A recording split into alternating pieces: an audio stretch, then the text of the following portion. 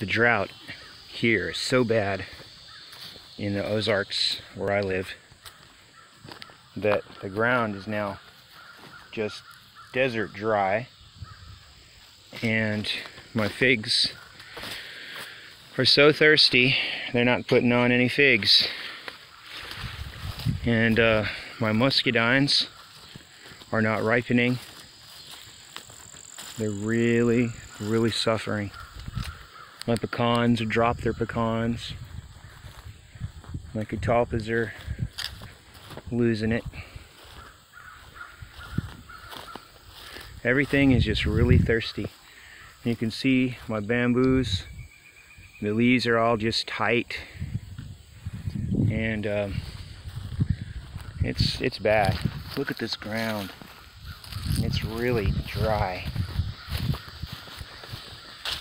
so bad I can't believe it and I had to just take down my garden yesterday I gave up on it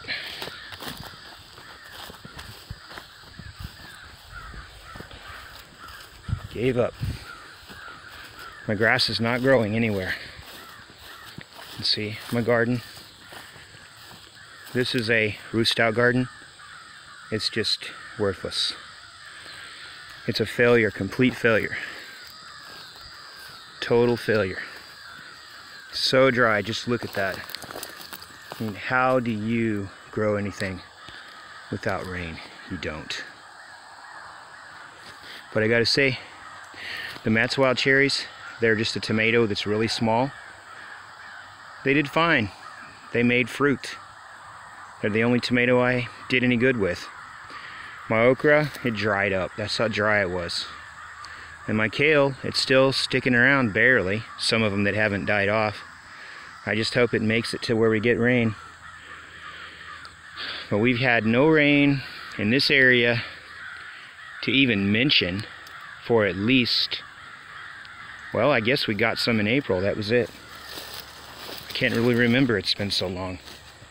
But I've planted my pastures and the seeds were supposed to have already been growing really well by now and they're totally dried up. My Vitexes, they bloomed, but look at them. They're very, very dry. Very, very dry. My pears didn't make any fruit this year because we had a late freeze and just when the little tiny pears were on they got hit so they dropped. The birds are here. They're little tiny one. There's a hummingbird up there but there's a lot of birds because I've got a lot of grasshoppers during this drought. Watch out deer. Oh I don't want the deer to run over there because that's where the bow hunter is really worried about that. Don't go over there, please. Uh, it's okay. Stay here. It's just me. Anyway, I don't have any pecan trees that have anything growing on them. It's that bad.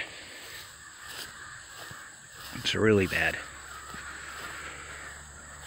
And I was expecting a really good nut harvest and I'm not going to get one. Even my chestnuts have dropped. Even my chestnuts. And they've given me fruit every single year. Not this year. My Asian pears, even though it's dry, they're still getting fire blight. It's amazing. It's weird. Fire blight's a disease that there's no cure for. Generally comes from over fertilization and I've not done that. I don't fertilize these pears ever. I know better. Don't run. Anyhow, this cypress would really make some good wood because it's got to be 30 feet tall and it's only 10 years old. Well, maybe maybe 12. They grow fast. Little babies. They'll be bow hunting legally in just a month, another month and they're gonna have no mamas. Good girls. Anyhow, my pond has all dried up. See, it looks really lush, but there's no water. And it's so weird. But there's lots of little baby frogs still making it around the pond. I'm hoping we get rain tonight. There's a little water in the bottom. That's bad, that's pathetic. Just down to the bottom of the spring. Oh, there's a little water snake. I wonder what kind that is. What kind of water snake we got there? Um, it's gonna go up on the bank. Can't see it. It's just a harmless water snake. This is called duck potato. And you can eat the the little things on the bottom of it, the bulbs. This is Huzu bamboo. I've already shown this before. And it's so thirsty. So thirsty.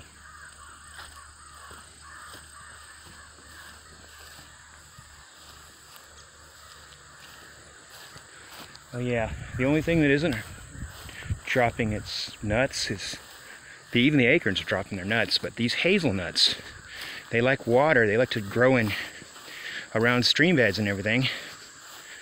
But for some reason, they still have their nuts on them.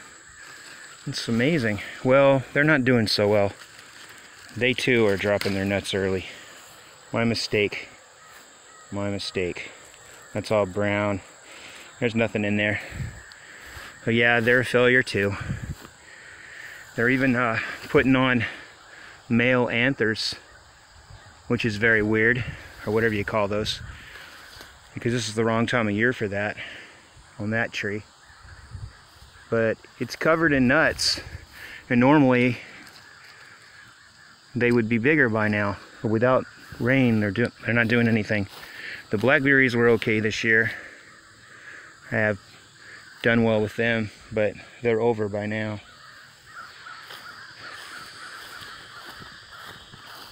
Anyway, still got some pecans on the trees, but they're really not gonna do anything this year. They're just too small. I don't think they'll mature. There's not enough moisture. But look at this garden. It's just had it. Everything is useless. And my strawberries, they're about to die.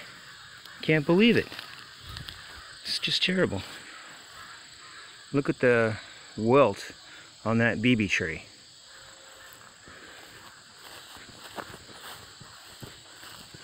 Wait till you see this. Wait till you see the bayou. Such a long walk. Just gonna go ahead and film it on the way there.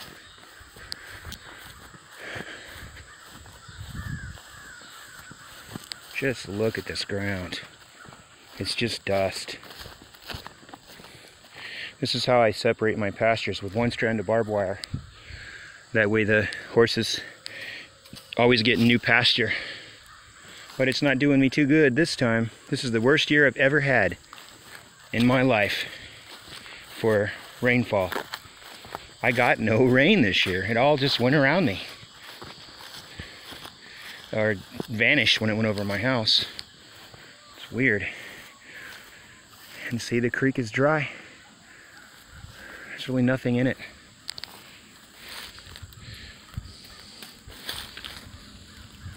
It's not flowing.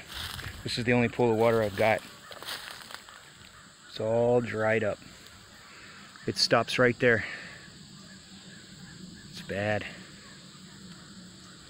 Just very bad. A lone mourning dove. Bad sign, they mate for life. Somebody obviously shot its mate. That's it for it. If the passenger pigeon ever tries to come back or there's any left, since there's an open dove season every year, it'll never make it. It'll get shot.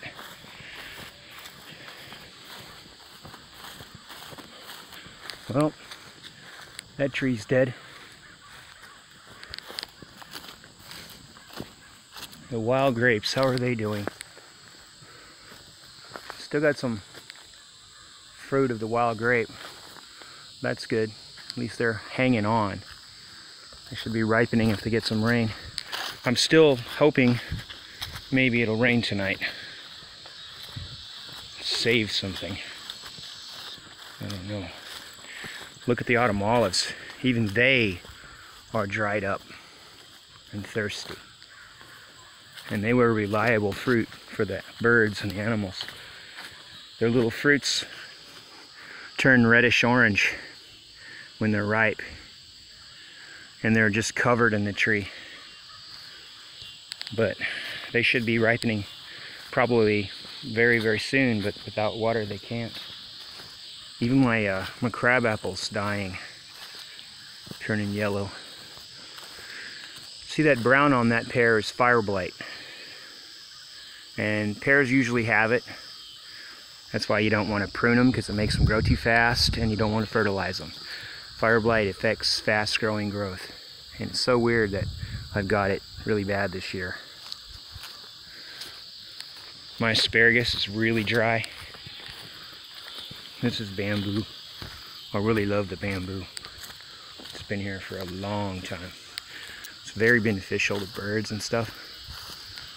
But it never gets to move out any farther than that. Because the animals always eat it now that they know about it.